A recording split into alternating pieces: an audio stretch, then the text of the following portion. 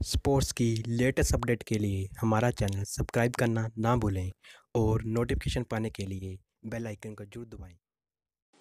नमस्कार दोस्तों, IPL auction में पार्स में यह रकम नहीं होने के बाद भी मुंबई इंडियंस ने आईपीएल दो इक्की की नीलामी में कुल सात खिलाड़ियों को अपनी टीम में शामिल किया, जिसमें नेथन कुल्टनाइल को पाँच करोड़ की राशि से खरीदा।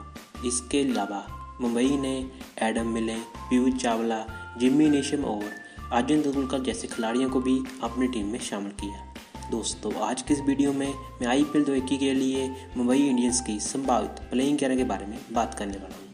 अगर दोस्तों, आप भी मुंबई की टीम के फ़ैन हो तो मेरी इस वीडियो को एक लाइक जो कर दें और मेरे चैनल को सब्सक्राइब भी कर दें। दोस्तों, बात करें मुंबई की टीम की तो ये टीम आईपीएल की सबसे खतर टीमों में से एक है। इस टीम में लगभग पाँच बार आई का खिताब भी अपने नाम किया है। इस टीम में कई मैच में नवी मौजूद हैं, जो इस टीम के लिए इस साल भी बढ़िया प्रदर्शन करते हुए दिखेंगे। दोस्तों आई पी दो के लिए मुंबई की संभावित प्लेइंग गियर की बात करें तो ओपनिंग का उतरेंगे? नंबर एक पर होंगे कप्तान रोहित शर्मा। नंबर दो पर होंगे क्विंटन डीकॉक नंबर तीन पर होंगे सूर्य कुमार यादव नंबर चार पर दोस्तों ईशान किशन हो सकते हैं। नंबर पाँच पर होंगे हार्दिक पांड्या। नंबर छः पर होंगे कैरन प्लाड। नंबर सात पर दोस्तों कुणाल पांड्या हो सकते हैं। नंबर आठ पर होंगे नेथन कुल्टन नाइक नंबर नौ पर होंगे ट्रेंट बोल्ट।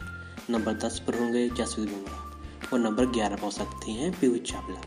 दोस्तों इस प्रकार की हो सकती है आई पी दो के लिए मुंबई इंडियंस की संभावित प्लेइंग ग्यारह दोस्तों आपके अनुसार आई पी दो के लिए मुंबई इंडियंस की संभावित प्लेइंग ग्यारह किस प्रकार की हो सकती है? अपनी राय हमें नीचे कमेंट में जोड़ दें और आपके अनुसार इस प्लेइंग ग्यारह में किस खिलाड़ी को मौका मिलना चाहिए? ये भी ज़रूर बताएँ।